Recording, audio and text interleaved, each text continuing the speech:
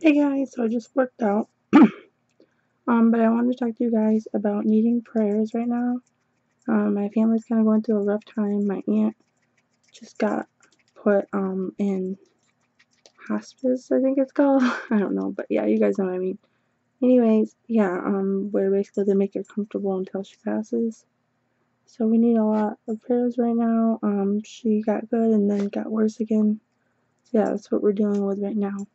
Guys can leave prayers, you know. If you guys lost someone, then you know how it is. If you guys like this video, hit thumbs up. And I'll see you guys later. Bye, guys.